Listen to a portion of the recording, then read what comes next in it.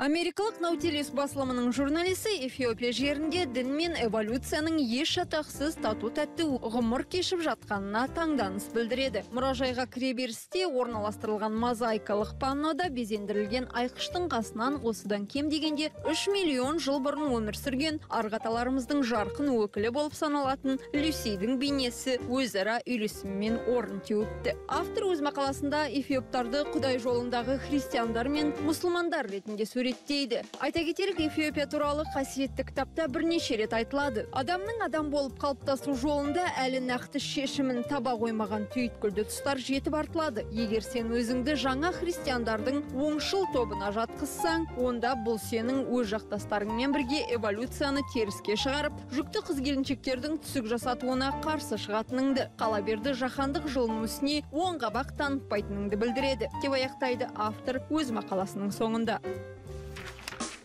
Ал уолл стрит жорнал қытай сарбаздарын мұздай киіндіріп керек жарағымен қамтамасыз ету ісінің аса қымбатқа түспейтіні туралы жазады. Ақш қорғаныс саласына қажетті қаражатты азайтып кетер шығындарды барынша қысқартуға тырысса қытай өз әскерін жабдықтау ісіне ақшаны аяған емес. Дегенмен қытайлық жауынгерлерді мұхиттың арғы бетіндегі қарулас әріптестері секілді бес қаруы сай деп айту қаншалықты қисынды нәрсе. Қытай әскерінің киім кешегі жол дорбасы мен қару жарағының жалпы құны әрі кетсе тоғыз мың төрт жүз юаннан аспайды екен. Ал бұл ақшаға гуанчжоулық наньфан джоумо газетінің жазуынша кем дегенде базалық негізде құрастырылған екі iphone 6s телефонын сатып алуға болады екен. Ал америкалық сарбаздар туралы айтар болсақ бес қаруы сай өзге де қажетті жабдықтармен қамтамасыз етілген ақш жауынгеріне кеткен ақшаға ең үздік комплектациядағы 20 iphone 6s смартфонын сатып алуға болады. Өз әскерін барынша қамтамасыз еткен мемлекеттердің тізімін жасақтаған кейбір батыстық ғылыми зерттеу орталықтары 2008 жылдан бері қытайдың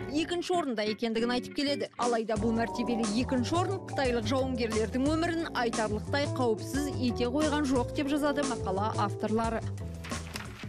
Ватикан банкінің бұрынғы басшысы 60 миллион еуроны талан таражға салынған үшін басы дауға алды деп жазады Der Spiegel. Жасы жетпістің бесеуіне жеткен Анжела Каллоя өзінің бар саналы ғұмырын дін жолында сарп етіпті. Ол діни сеніміне адал католик, еңбегі сіңген христиан демократ ретінде сипатталады. Оның қызмет баспалдағындағы ең жоғарғы белесі ретінде Рим католик шіркеуінің банкіне басшылық еткен кезеңін айтуға болады. Бұл қаржы институты осыған дейін өзінің күмәнді істерімен түрлі күдік туғызып келді. Кейін анықтай келгенде анжеланың ватикан банкіне тиесілі 29 жылжымайтын мүлікті сатып жібергені мәлім болды. Ватикан банкіне тиесілі жылжымайтын мүлік ауыз жаласқан үшеуге тиесілі сыбайлас фирмаларға өте арзан бағаға сатылып келген. Бұл фирмалар офшорда тіркелген болуы мүмкін. Басқа жорамалдармен салыстырғанда осы болжам шындыққа жанасатынын айта кету керек. Кейін бұл фирмалар өздерінің меншігіне айналған үйлер мен пәтерлерді үшінші тұлғаларға нарықтық бағасымен қымбатқа саудалапты. Осыдан түскен пайданы алаяқтар әлбетте қалтасына басып келген. Екінші жорамалға келер болсақ римнің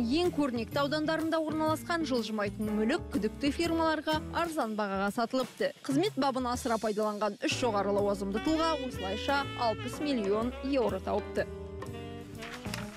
Католиктер мен православтардың басы неліктен бір қазанға сыймайды. Бұл сауалдың жауабын түріктің заман басылымының мақаласынан оқи аласыздар. Кейбір деректерге сүйенер болсақ алғашқы әлемдік собордың 1700 жылдығы қарсаңында кездесетін қос шіркеудің өкілдері өзара бірігу мәселесін қозғап кеңінен талқылайды деп күтілуде. Әзірге патриарх пен рим папасы осындай ниет танытып отыр. Қазіргі таңда дүниежүзі бойынша бір бүтін оннан екі миллиард католик 600 миллион протестант және 310 миллионға тарта православ дінінің өкілдері бар екен. Олардың әрқайсысының саяси көзқарасы мен діни ұстанымы әрқилы. Тіпті бір бірімен сәйкес келе бермеуі де бек мүмкін деп жазады мақала авторлары. Дегенмен мұндай бірігу бола қалды делік. Бірақ мұндай жағдайда дүниежүзілік діннің діңгегі іспеттес орталығы қай жерде орналаспақ? Тіпті тараптар арадағы келіспеушілікті доғарып бұл мәселеде де шешімін тапты дейік. Бірақ орталық билікке қарсы шығуды әдетке айналдырған протестанттарға не істемек керек